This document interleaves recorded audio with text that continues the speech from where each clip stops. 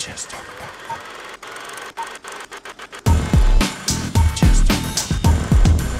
How's everybody doing? You still got energy.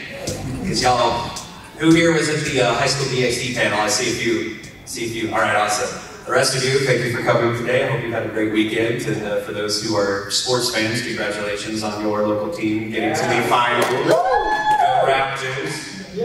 Clever girls. um, dude, I saw the thing that somebody had that sign that said like uh, of the North or whatever, and it was upside down last night at the uh, Jurassic Park or whatever it is downtown. Yeah, uh, I love it. That's, I love it. Toronto never change. Um, so, real quick disclaimer for those that just joined. I got a few people that got here early. I already told them. So. Uh, welcome first off to writing, directing, and voicing in anime. Uh, my name is Josh Grelle. I'm a voice actor, mostly. Been doing voice acting for about 15 years professionally, uh, and mostly in anime. Uh, I've also, for about uh, eight to 10 years, was a uh, ADR script writer for Funimation Entertainment and uh, ADV Films and Sentai Filmworks, and uh, also uh, Entertainment out of LA. And uh, I've only directed, I've been a, I've been trained and worked as an assistant director of the show, but I've never actually, thank you so much. I've never actually uh, had a directing, an actual directing gig myself. So I try to get, whenever I do this panel and go to con, to get any of the other guests that are here that also have these experiences and may have more experiences in some fields than me to come and join. Unfortunately, every other person that's here this weekend had a panel or a, an autograph session at this exact time, so I'm flying solo here. I'm going to try my best to give you uh, all the, the concise and correct information that I can and to answer your questions. Um, if, uh, I will try to fill an hour. If, uh, if we don't, however, feel free, you don't have to ask questions specifically related to writing, acting, or directing. Feel free to ask any questions about shows I've worked on or just uh, about the industry itself or anything that you have. This is also a general Q&A. Uh, since it's Sunday and this is a pretty this is a pretty nice tight group and small room, I'm pretty sure we can all project instead of having to get up and use that microphone, right? Yeah. Everybody comfortable with projecting? All right, cool. So yeah, if you just want, if you have a question, just raise your hand. No, yeah, yes. Just regards to videos and pictures. Uh, uh, feel free to film this. There's nothing bad about that or whatever. Pictures fine. Yes. Hi. I wanted to ask you this question last year, but you weren't here. I'm sorry, I was sick. I hope you're feeling better. Um, this one's just a little one, and then I have a question about voice acting. Okay. For Yuri on Ice, because Yes. I, I figure skated my whole life, and I asked Nice. him last year, but you weren't here. Did you do any sort of You keep research- rubbing that wound in. Right, just, just take the salt. Just take the salt out while, while you're at it. Just. Did, okay, fine. Um, did you do any sort of research to know what you were talking about when it came to what you were doing for figure skating? No. Didn't think so. No. I still don't know. I have no idea like how the point system works. I don't none of it. I can't tell you the difference between a twi- triple axle or a triple salchow, but I know that Yuri looks good doing it. He doesn't. Um, my voice acting question, sorry to everyone. Yeah. questions. Um, what do you recommend as someone who has been attempting to get into voice acting but Okay. hasn't been able to like find the right like opportunities? Where do you suggest going to look? Obviously, it's different in the states, but Right, uh, Vancouver. oh, Vancouver. That's pretty much like, I mean, Vancouver actually, I think, is one of the best places right now, even more so than LA, to go in North America for voice work. Uh, some of the most popular cartoons that are made for Cartoon Network and for like Hasbro and Nickelodeon stuff like that are made here. Okay. are made in Vancouver. My Little Pony Friendship is Magic. The entirety of that show was made in Vancouver. Most of it was recorded in Vancouver with the exception of one cast member, Tara Strong, Yeah. uh, who's out of LA. Uh, freaking reboot from the 90s. Like, oh, I mean, dude, I'm pretty sure that most, like a pretty good portion of some of the recent uh, Cartoon Network shows, like uh, uh, uh, Steven Universe, right, that would also be at least animated and sometimes recorded here as well. Like Vancouver is a hub for animation work, uh, and just voice work in general. And the cool thing is, like, if, if you're going for animation and that's your that's what you want to go for in terms of voice work, then yes, Vancouver, Dallas, LA, New York, and Houston are kind of in North America. That's that's your go. Okay. That's where you go to. But the cool thing also is, if you're local here, you're also in the voice market for commercial and radio. And I mean, every major city is going to have some sort of voice market for commercial and, and uh, uh, radio and narration and industrials and stuff like that. So there's always a market to find. But if you're specifically looking for animation, it's just one of those five locations things. Cool, oh, thank you. Yep, you back. Yes. Um, sorry, I just. Uh, You're good, bro. Um, no problem. Uh, is there any good um, advice you can give for someone who wants to start out just um, like pro practice of vocal range? Mm-hmm. Uh, well, I, I actually did. Was anybody at my uh, Creating Voices panel yesterday? Okay, awesome. So, uh, I go over this on that, and actually, if you can, some people have recorded that panel and have it up on YouTube in its entirety, and I, I talk about a lot of stuff like that in terms of finding your range uh, and stuff like that. So if you can go, just go search uh, search Creating Voices, Josh Grelle or something on YouTube, and you should be able to find it. Um, I'll give you a, a little something. The uh, for getting your range to go wider, lower, or higher, lower, whatever you want to. Uh, it's it's you have, think of it the same way as like going to the gym.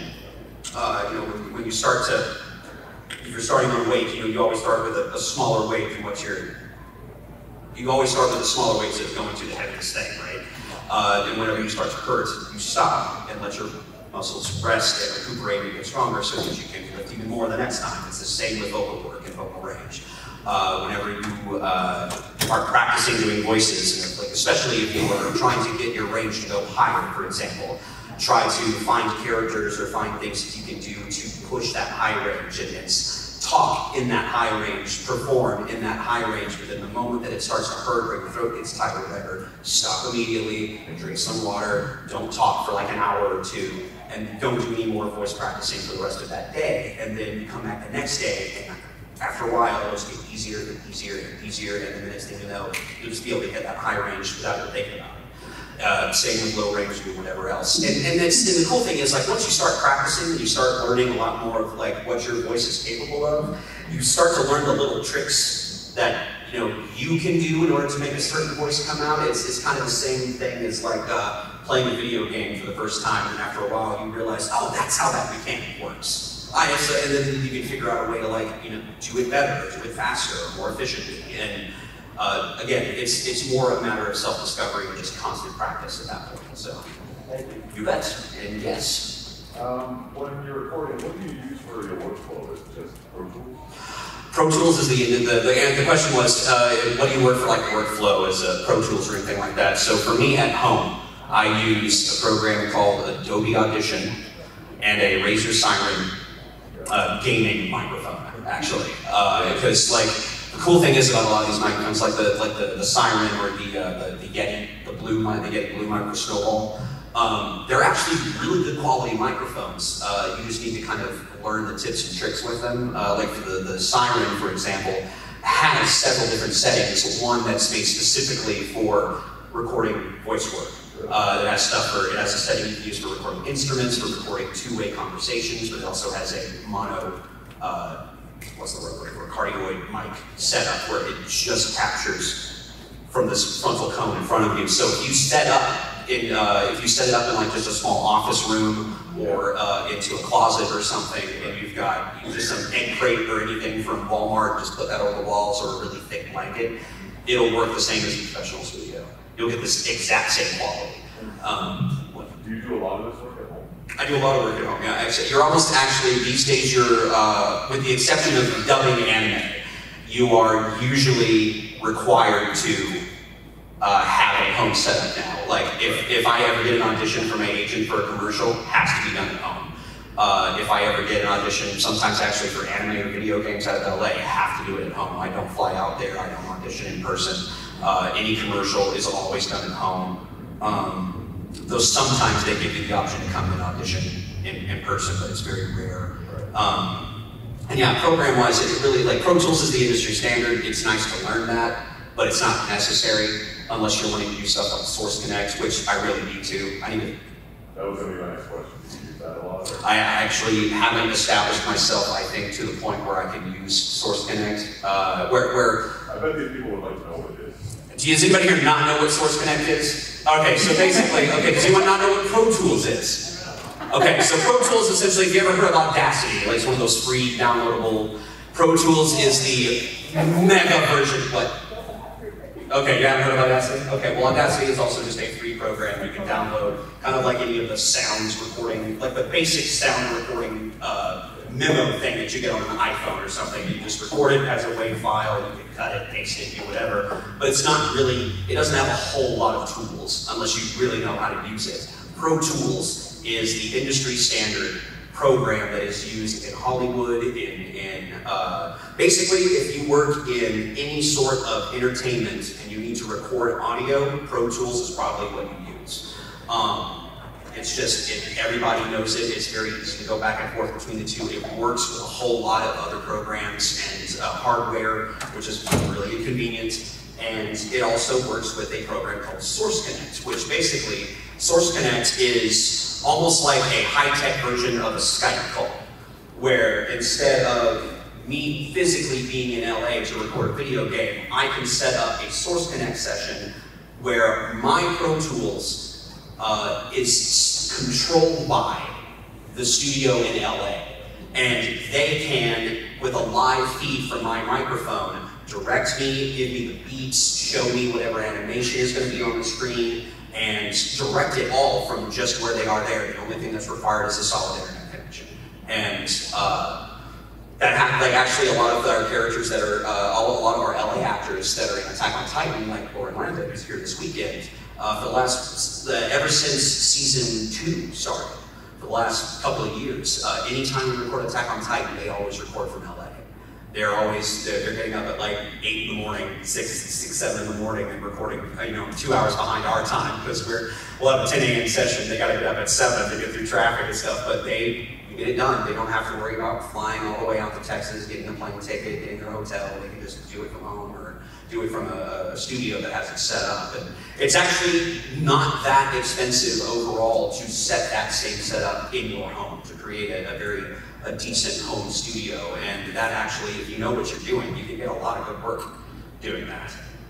Yes? What was the name of the headset that you mentioned earlier? The uh, it's a gaming microphone. It's called the Razer Siren. I also highly recommend the Yeti Blue, especially if you use uh, Mac as opposed to PC. If you use a PC, I would recommend the Razer Siren. I've had issues, some technical issues with the, the Blue.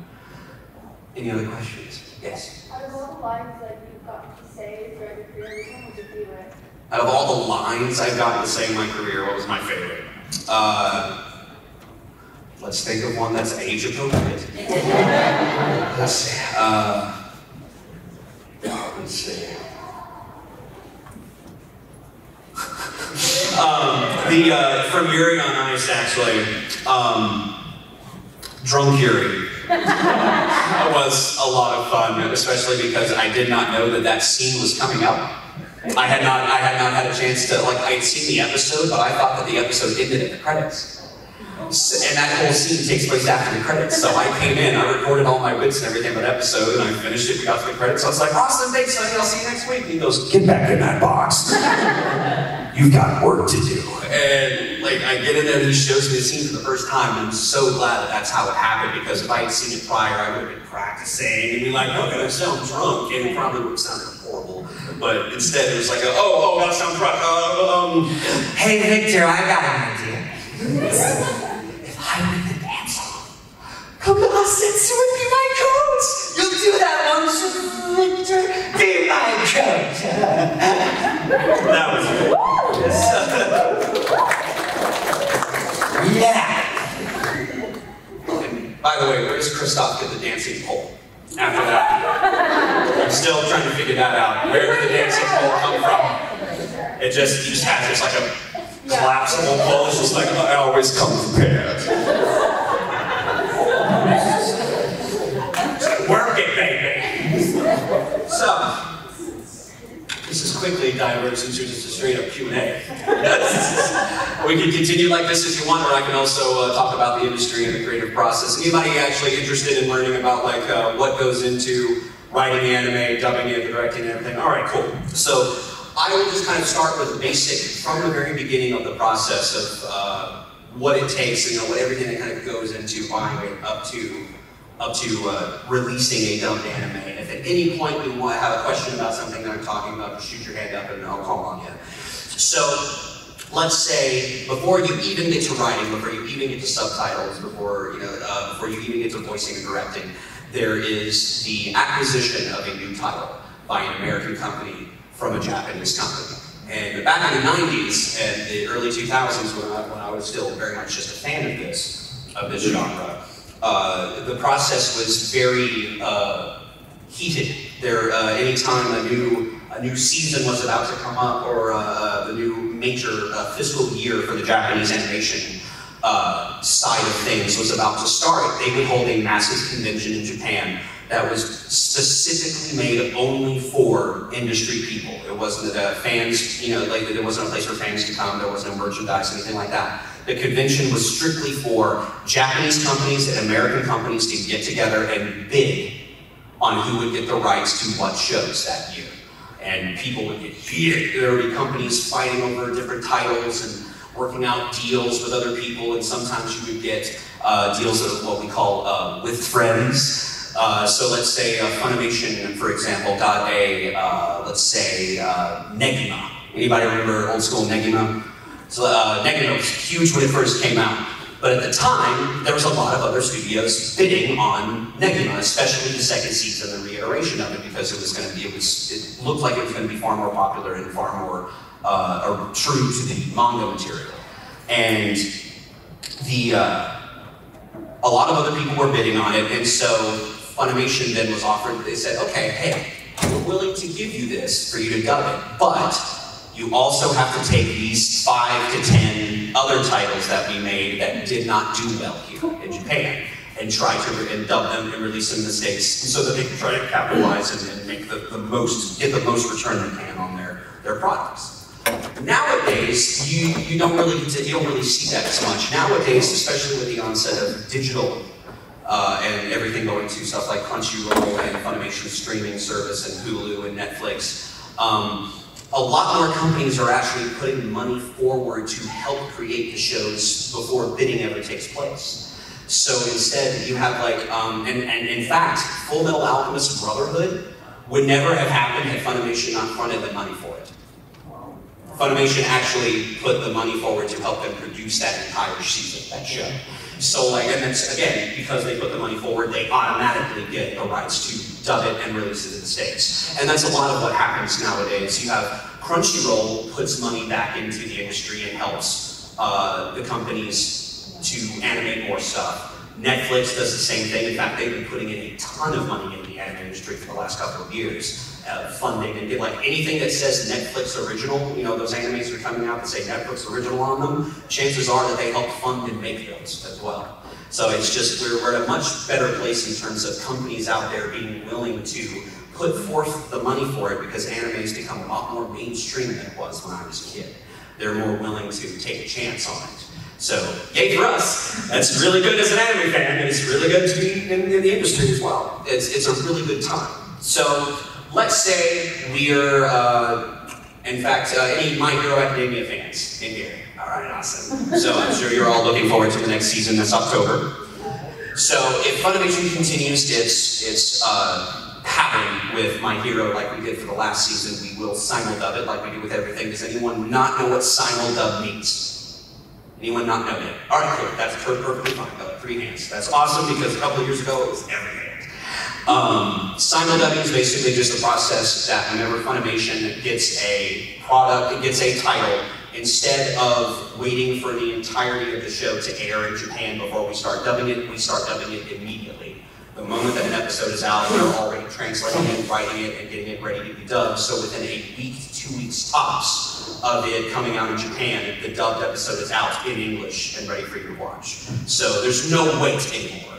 Uh, in fact, with this most previous season of My Hero Academia, we released the dub the same day that the Japanese released because they are sending us materials a week to two weeks ahead of time now, and it's it's it's awesome. Uh, but it does come with a very heavy workload and a very fast-paced production schedule now, as opposed to the 90s. So let's say uh, it's October and the new My Hero Academia season is just about to start coming out, and uh, our translator gets the first episode materials two weeks ahead of the first street day from uh, from the Japanese. That this could happen at like three in the morning for this person. They will be up at their computer and they will immediately start writing a translation, which will then be checked by another translator and a translator above that at Funimation. They are constantly working back and forth with the, the Japanese staff as well to make sure that we're getting the closest approximate translation as possible. And within 24 hours, they have that translation up and ready, and it's ready to be written into a dub script. 24 hours. Uh, within another 24 to 48 tops, the ADR scriptwriter then will take that episode with the translated script, which will then be used as our subtitle script, uh, and use that to then watch every single moment in the episode where a character makes a sound, starts to talk, opens their mouth, grits their teeth, goes, "Oh," or anything else. And if words need to be put into those mouth flaps, they put them in. It's, you know, a lot of times we'll have to end up uh, changing the order of some words because the syntax is already flipped uh, from Japanese to English. If we just did raw translation, it would sound really weird just to hear somebody talking like that. Um, so then it, the job then of the ADR scriptwriter is to kind of massage and put words around so that the exact same information that's being portrayed in the Japanese is being portrayed in the English, but it looks and sounds like it was originally made for an English-speaking audience. That's really the whole point. Um, and they do that within about 48 hours and have that episode up and ready to go, which is then checked by a head writer to make sure that everything is consistent and we have all the information from the Japanese and that that has all been taken into account. And then that episode then goes to uh, ADR script director or ADR director. And the ADR director has the hardest job out of anyone in this chain. The ADR director has to herd cats, aka actors, and you know figure you know figure out where they're going to put them, get the whole schedule done because they have a week to get this entire episode, 25 minute to 30 minute episode of anime completely dubbed, every single character, every background thing, everything recorded, set, fully mixed, and ready to go out online. So they have to already have before within that two to three day period while the script writers are doing their job. That director is researching everything they can about this new property. If there's a pre-existing manga, they're reading it. If there's any sort of online resource they can use or information they can get from the Japanese staff, they're getting it and taking it into account. And they have to, at all times, have this wide picture in their head about how every single thing is going to sound, how what line is going to be read what way in order so in order for it to make sense and uh, also picking the right people to play the characters. And when I first started, uh, almost every single show was auditioned. And we still do auditions on occasion, but a lot of times now, because, especially because Funimation has such a massive acting pool, I think it's somewhere of, in Dallas alone, they have upwards of 600 total actors that they can pull from at any given time, male and female. Um, you know, and there's some that they use more often than most, but they do have a very wide pool they can pull from. Uh, they will, more often than not nowadays, because of the very fast time constraints in order to make sure we get this out uh, for everybody as quickly as we can, but still with good quality, uh, they just cast it if they know what a character, you know, if like I they can say like, oh, J. Michael Tatum has played this type of character for me numerous times. I know that he can give it his all. I know that he will sell it as it needs and play the, give the character what it needs to be as close to the Japanese as possible. So anybody that's watching English and Japanese will have roughly the same experience. Um, and they'll just go ahead and cast them. Uh, if they find a character, then they're just like, ah, I'm not really sure about this. They can either take a chance on a new actor that they don't know, or they can try to hold a fast audition and, and just so they can, so people can then show what they can do. Uh, and once that's done, they just go right into it. And within a week, actually, technically five days, Monday to Friday, they done from 10 a.m. to 6 p.m. And then they have another group that comes in from 6 p.m. to 10 p.m. to record the rest of the night. So it's just it's a 12-hour a day process to get all this stuff recorded and done, and then it's out and it's ready for you to watch. Yes. Uh, is it very often that the Japanese client says, we want that guy, or do they normally just leave it up to the? It depends on the studio. So, you know, like Toei that does Dragon Ball and One Piece and all those guys, they're usually very particular about how they, they, they want their English counterparts to sound as close to just their ear as the Japanese do. So, like, for example, when I was auditioning for the role of the Grand Priest in Dragon Ball Super, after I did my first little bit of recording, I had to wait a month for them to send the files to Japan, let people at Toei listen to it, and make sure that they were happy with my rendition if I sounded close enough to the Japanese Seiyu, that they were happy with it. And that was a very long month for me, let me tell you. And but finally they, they got back to me and they said, yes, we, we, we like this, we think it sounds good, we can go ahead with Josh as the Grand Priest, and now that's my character. And I probably, knowing Toei, it will not change until I'm either dead or whatever. like it's, uh, I'm that role for, for as long as it exists, and uh, it's because they, are so they're so in tune with their own product. You know what I mean? Uh, sometimes, though, but that I would say that at least in my experience, that's very rare. Mostly, especially uh, as fun, where Funimation is concerned, uh, the Japanese clients that they work for tend to trust them. Like they've, they developed a very solid reputation in Japan for putting out quality products and quality dubs. So they tend to just kind of let them do their thing. And if there's an issue later down the road, then they'll bring something up. Uh, yeah, usually, usually they're fairly hands off, but that's not the same for every studio. Uh, and depending again on the project, on the project, uh, ADV Films a long time ago used to be the one studio for some reason in the states that uh, the people behind Starship Troopers and Halo, uh, when they uh, asked for some animation companies in Japan to make some anime renditions of their properties, they would only go and work with ADV Films in Houston. But that was one of the most stressful recording processes of anyone's lives because we constantly had three representatives from Japan in the room with us at, for every session. What? And it is, you have not felt intimidated until you have had three people, Japanese businessmen in those badass suits just staring at you like whatever comes out of your mouth is either going to save your life or end your life. That is, mm, her up real quick. Um, and, uh, you know, especially because, like, after every single take, they'll turn the mic off and you'll just see them. good.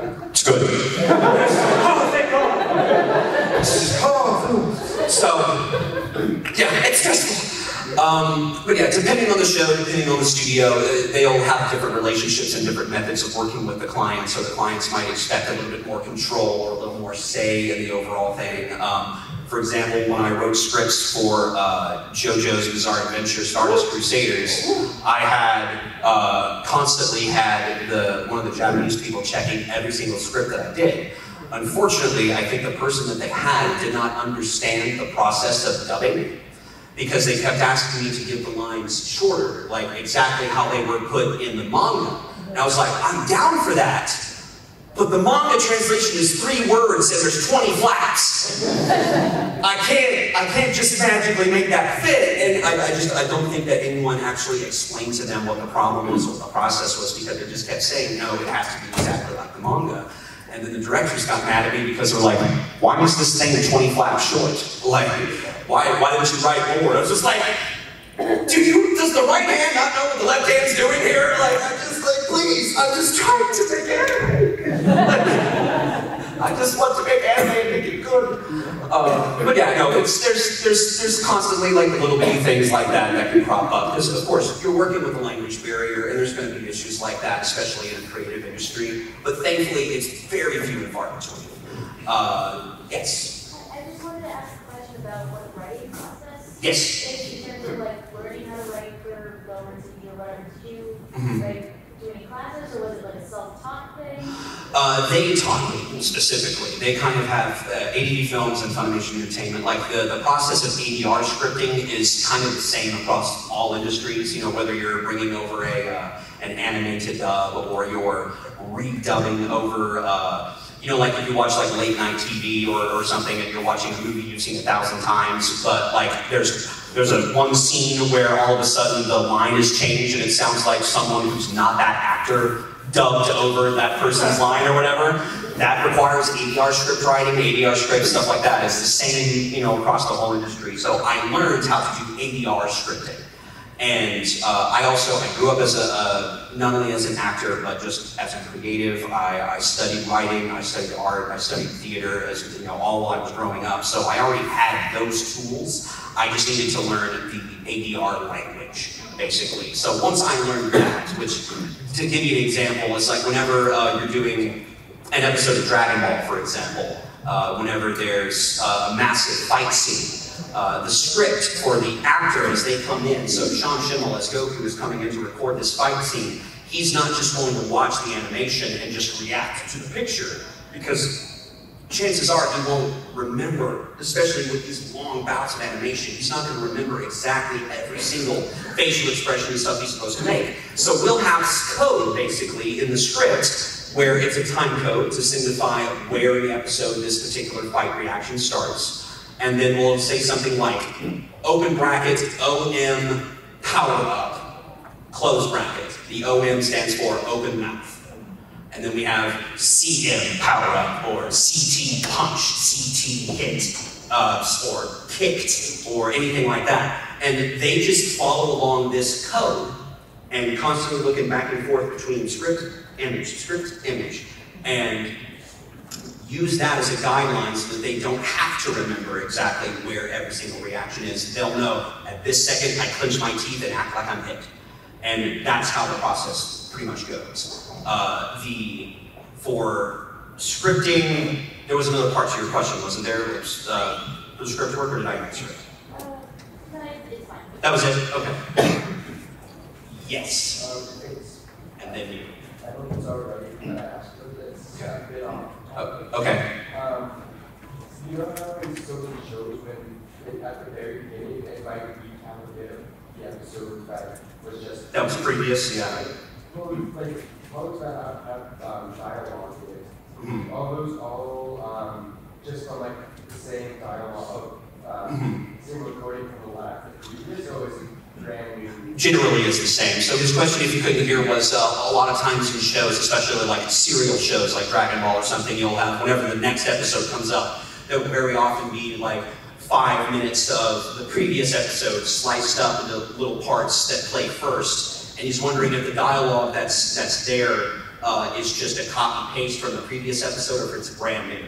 And it completely depends on whether or not when that episode was animated, if they use sometimes they'll use different animation for a diff, for a same for the for a line than was originally in the other episode. So it'll be completely different flaps, or uh, they'll cut a line in half to only signify one particular part of it, but they'll also use a completely different part of the scene. So we have to rewrite and re-record those in order to make sure that they match up.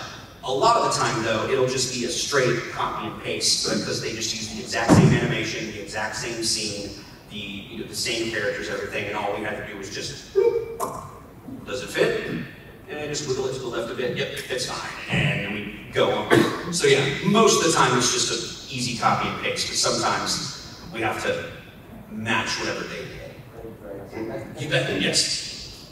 Uh, if time and money were not a factor, how would you improve the product that and product that that's released? Put me on the spot. if time and money were not a factor, how would I improve it? Um,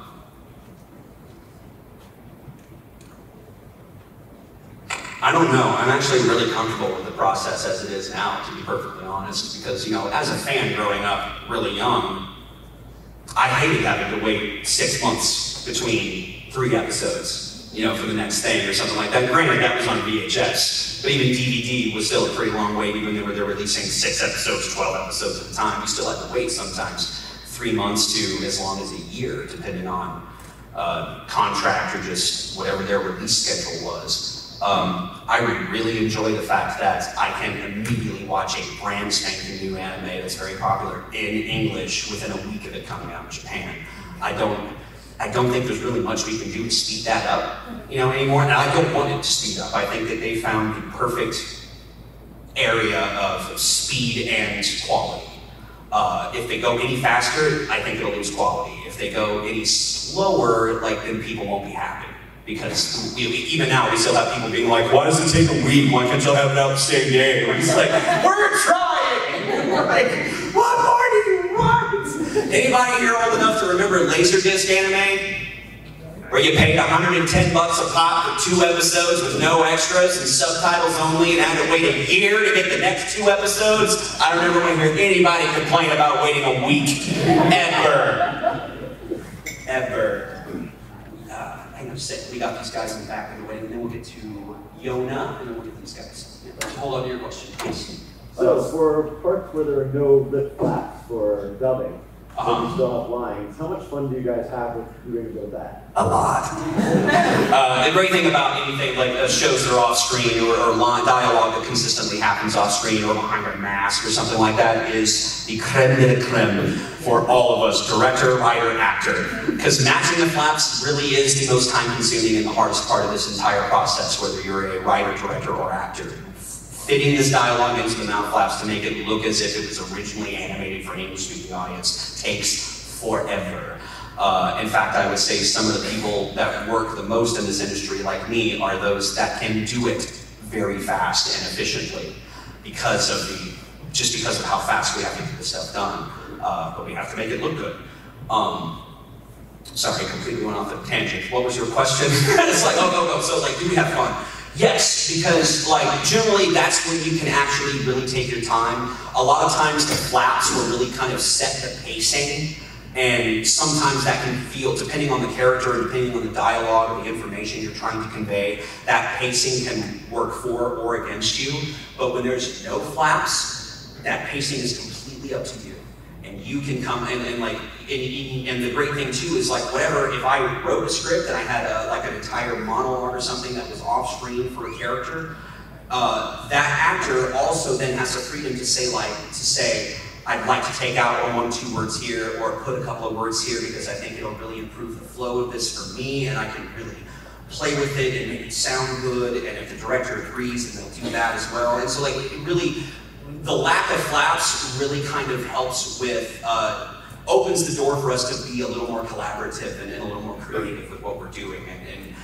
it makes it a lot more fun and it's definitely easier uh, and yes sir in the yellow So um, similar to this question, uh, I imagine uh, uh, when it comes to voice dubbing, the Mhm. fitting like the lip syncing with the dialogues uh, Mhm. is it like a critical aspect of the voice 100%, dubbing? So like, yes. I just want to know the process of it and all. Okay. Uh, most of the process is uh, the when you have an ADR scriptwriter starting with it, their entire job is to sit there and watch the entire episode and watch each line about 20 times. Uh, and sometimes they have to go faster, obviously, because they only got like two days to write the script. But like, you watch every single bit of dialogue and these in flaps, sometimes down frame by frame by frame, um, so that you can match the flaps exactly. And what you do is you perform the entire episode by yourself. Like I would be at home, thank God. Thank God they didn't have me in, in an office or something, because I would have made a lot of people angry. Just like, shut up, I'm trying to work. It's like, so am I.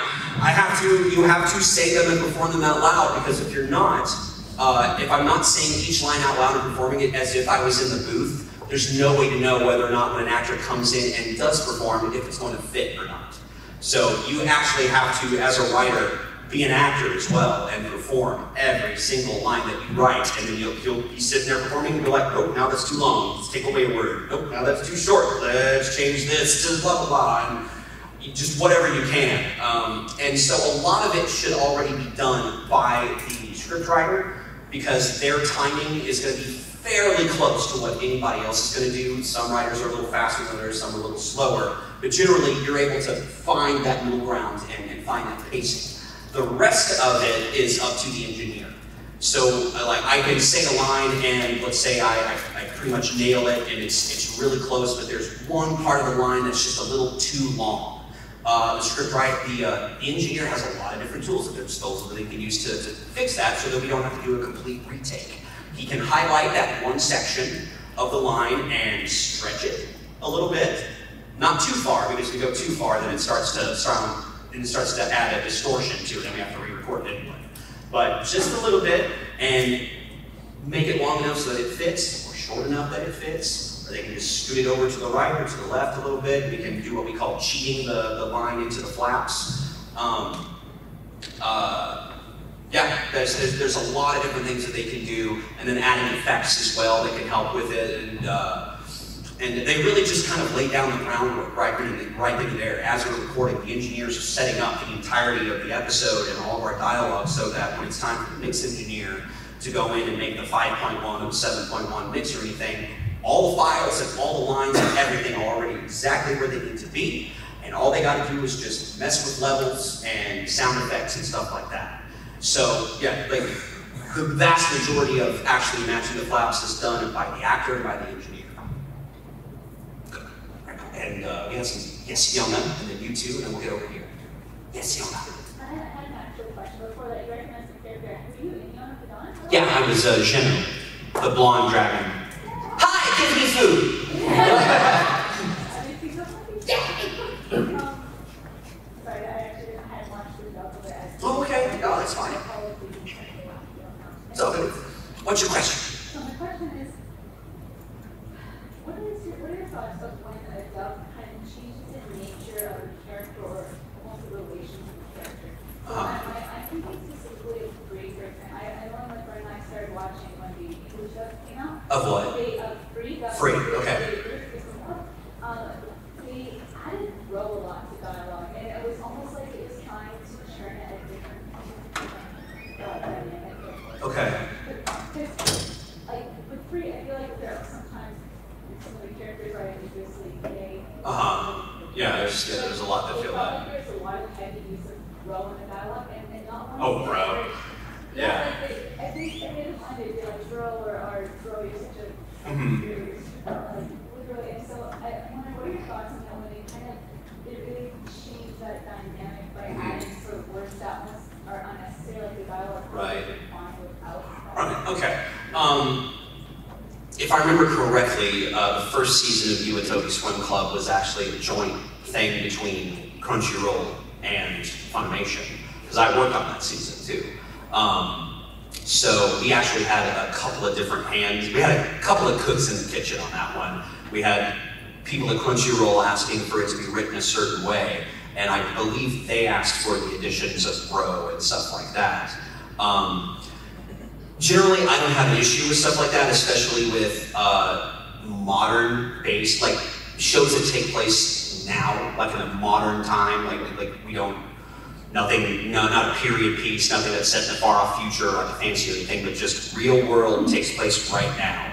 I have no problem usually with adding stuff like that, especially because the whole point of uh, localization, which is essentially what our job is, is we work in the localization industry, which is to take a product or a, a story from one country and present it in such a way that a completely different culture can identify with it and understand and get the same story, but in a wrapped in a skin that they get, that they understand. Does that make sense? So the usage of like bro was their way of replacing the constant use of san, which is, you know, that's that's part of the thing. Honorifics are a huge part of Japanese language, and you constantly refer to your uh, your someone that you were either in the same class with or was an upperclassman with something as san.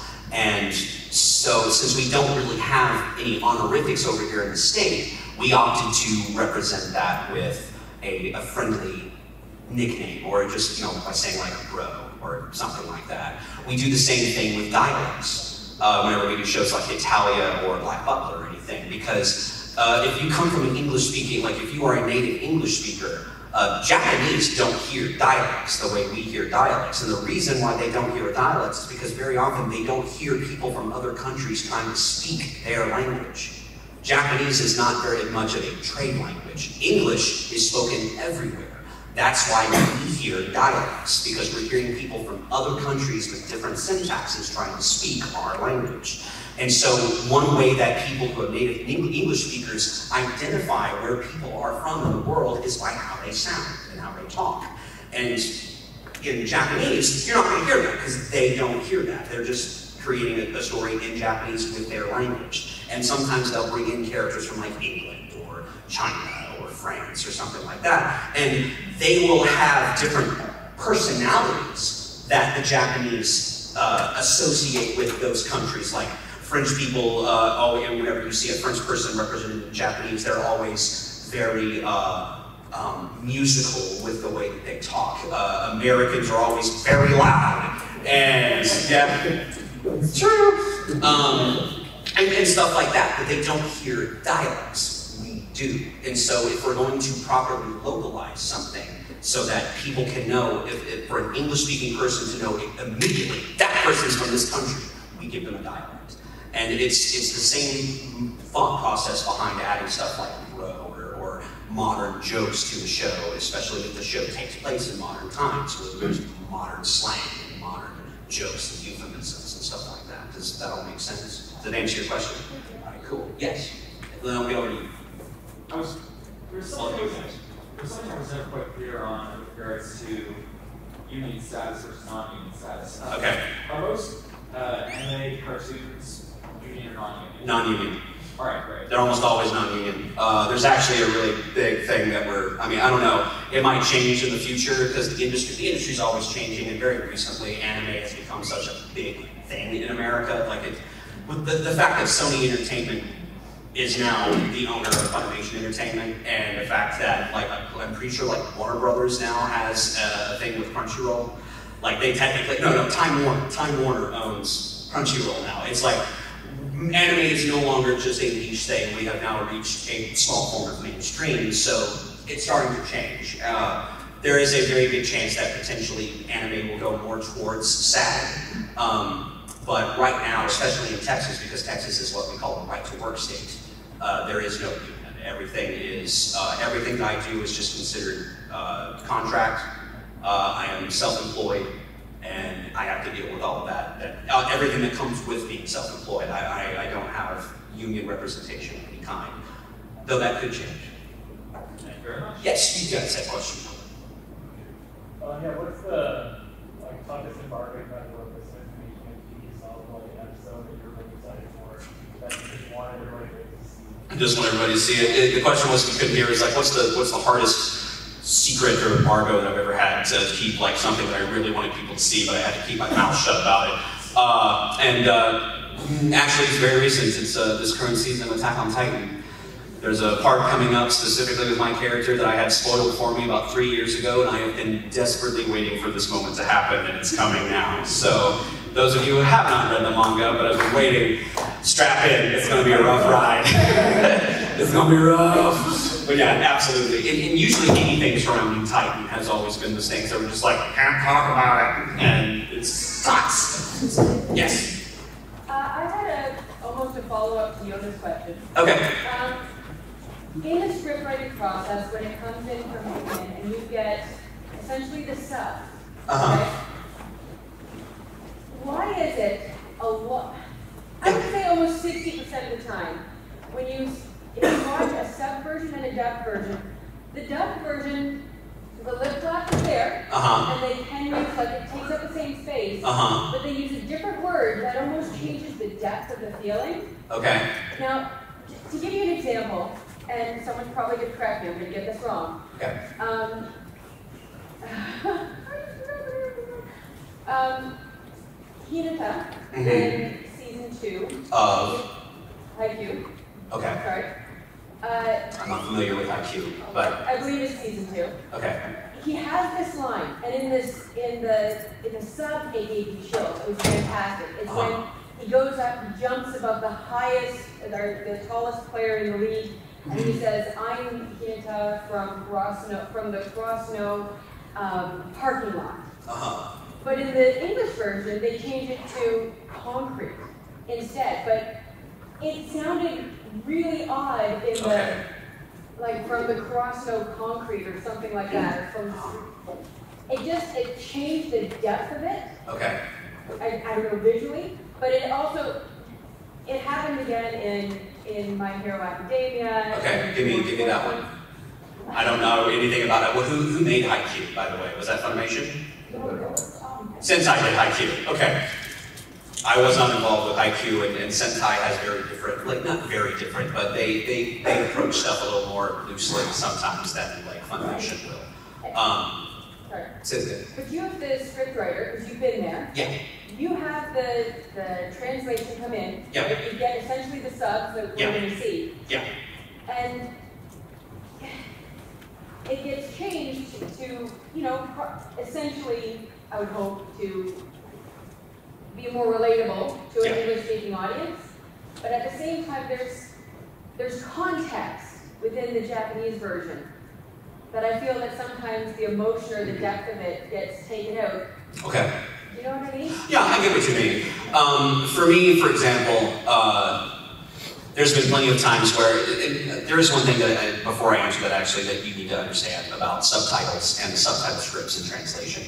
The subtitle scripts that you, if you ever have watched a subtitle, it's already a truncated. You're not actually getting the translation. No subtitle that you've ever watched has ever actually been the direct translation of anything. Uh, here's why. In the States, especially in North America, but mostly the States, we have a very specific set of rules that we have to follow in order to put subtitles onto a DVD disc or VHS or anything, and by extension, online. Uh, subtitles can only take up a certain number of characters on screen at any given point, so roughly the size of an old school tweet, about 120 characters. They can't take up any more than that. Um, they must be either white or yellow because that is easily seen against most backgrounds, and colorblind people can see it as well. The main reason for it, how, like because of those restrictions, because of stuff like that, we cannot almost ever give the exact full translation on screen of what a line is actually saying because there's all usually a lot more information there. So usually what happens with the dub is it's actually our job and our chance then to kind of untruncate and put some of that meaning and some of those emphasis back into the show because they're lost. Because instead, because instead of giving like an entire monologue of something like a character might be giving, I mean, I'm sure you've watched plenty of scenes in anime where it seems like a character is just saying this, like having this soliloquy basically, but the translation is like two lines. And it's like, the reason is because they're actually saying a lot more. There's a lot more nuance and meaning to the stuff they're saying, but because we are limited in how much information text-wise we can have on screen at any given time, we have to truncate it down to the most literal basic information of what's being said. So you actually end up losing more than you gain. Uh, and then it's our job as when we're dubbing it to try and bring some of that nuance back into it. For what you're talking about, that kind of situation, I can't speak for Sentai in terms of Haikyuu, but I can speak to stuff like uh, My Hero Academia. There's actually an instance where this happened for my character, Tokoyami. Uh, if you, anybody remember the episode, the training camp that they do outside in the woods, and you know, just before, uh, you know, Tokoyami throughout the whole episode is constantly saying, "Revelry in the dark," and why does he say that? And in the original translation, like the full translation was "Mad Banquet of Darkness," which sounds badass, but one issue, it didn't fit the flaps. So instead, what we went with was revelry in the dark, which a revelry, loosely defined, or even if you look it up in the dictionary, revelry is described as a wild party or banquet. Bang, mad banquet of darkness, revelry in the dark. It's literally the exact same thing. It just happens to fit the flaps a little more. I would also, I would kind of argue that saying that someone was of the parking lot instead of, instead saying of the concrete is also relatively the same thing. Because concrete, I mean, parking lots are usually made of concrete. And I feel like what he's trying to say is more of like, I am of, like, I am of this existence. Like anything that has to do with the concrete is my domain. And that's at least one way you can say it. But again, I don't know Haikyuu, so I can't really speak to it all that much. Yes. And Right, so it's like, um, talking down to school, and it's Okay. some kind of like psychology stuff. Um, and I'm pretty sure the original, I think this stuff was actually, they're like, well, less than concrete or something, like they're from concrete, and so it might have been part, I don't- haven't seen that part yet, but it Yeah, might he be was talking awesome. about The how parking lot it sounds comes from trees and Uh-huh. mountains, Yeah, you're glorious and magical and. Right, but he's of the concrete. Yeah, we're It's like like, that, it's right? like, from the concrete, like. Mhm. like, I'm from the city. And because you're short guy talking to the big guy and, and he's like glaring down. Yeah. There- There's that kind of context. It's a really badass moment, really. That to say out the parking lot is. Uh-huh. Gotcha. It's like concrete, which is, I guess, um, a material opposed to an actual. An actual location, right. So, I mean, a lot of times that's gonna come down to, I think, again, personal interpretation, and also, there could very easily have been a communication in the background between the writer, the script writer, and someone on the Japanese staff about exactly what that was supposed to mean. And there, it's very possible that parking lot was a mistranslation, and that it, in fact, it was supposed to say concrete. Uh, because a lot of times we'll just have words that Japanese will say one thing, but it can mean one or two other things in our language. So we kind of have to, you kind of have to play it by ear. And a lot of times having conversations with the Japanese staff and creators really helps us to kind of narrow that down. But even then, with those conversations and with translators, you don't always get an exact one-to-one translation. There's always going to be a little bit of something lost. Um, and it's it's unfortunate, but there's not really much we can do about that. So our, our best tool then in those situations is to just stick to the original intention of what the Japanese are trying to do. And I'll give you an example of that as well. Uh, jokes.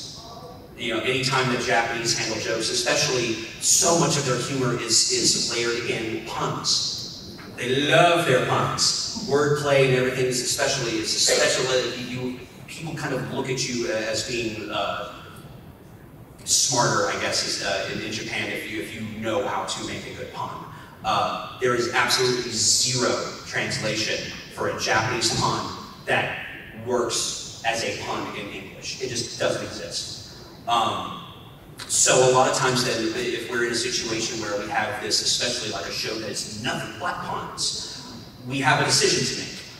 Do we do exactly straight translation, raw translation, as close to that as we possibly can.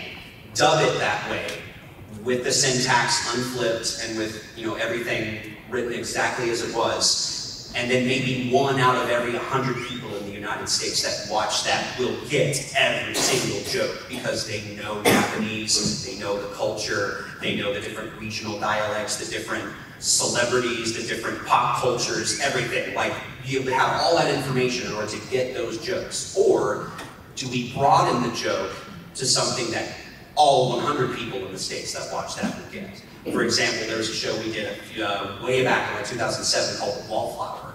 Uh, and there's a joke, there, there's a scene at one point where one of the young male characters is very passionately eating a popsicle. and uh, in the Japanese, he's humming the jingle for a very popular Japanese ice cream that's only in one particular region of Japan.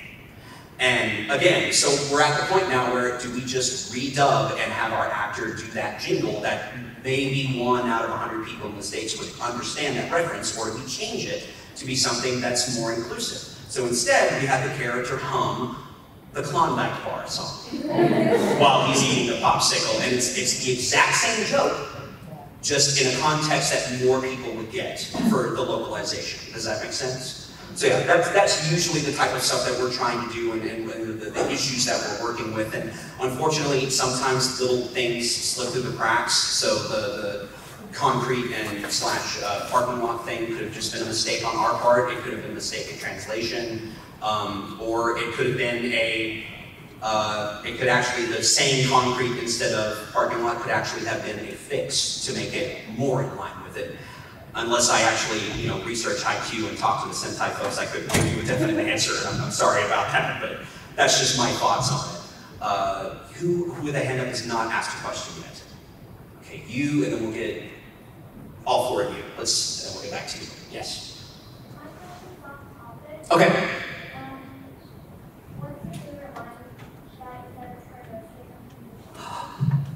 She's asking what my favorite line to say as Kuranosuke from Princess Jellyfish was. Did anybody ever see Princess Jellyfish? Yeah. Okay, a couple people. That's cool. Yeah, one of my favorites. Um, Kura. Really, I think my favorite thing with anything with Kura is um, whenever he's messing with his brother Shu. So like Ian Sinclair, uh, Ian Sinclair who plays Shu, he's one of my best friends. Used to be my roommate um, while we were recording this show. So we had a lot of fun with that. Um, he's constantly messing with his brother, trying to get him to go out with Zucchini. And I think my favorite note was just like, oh, uh, by the way, bro, she's a virgin. And it's just like, it's like you just see him like, and he just loses it. And I'm just like, Kura, you're such a dork. I love him. And also just any time that he gets like all up in arms about fashion, especially what he's wearing, like uh, he shows up to the house one day and he's just causing all sorts of mayhem for Tsukimi. Uh, and uh, not really paying attention to the stuff that she's trying to do, and she's wanting him to leave, but he's just like, oh no, I love this place. And she's like, by the way, what, is that you're wearing anyway? And he just suddenly snaps out of whatever funk he's in and goes, oh, this, this is 20s Lolita. No, this is Lolita, French Lolita meets 20s Flapper. And he just you know, does his hair or whatever, and she's just like, oh, great. yeah, he's a dork. I love him. Uh, yes, sir. Uh, you said that you were trained in uh, directing, but never actually got a directing credit or applied. Uh, Right. Do you have any experience from either looking at the directors or from what they told you? Hang on just one second, because I need to check. Uh, this was supposed to just go till two, correct? Yep. Yeah. I know that the other panel started late. Are we, are we actually at time now? Or, okay.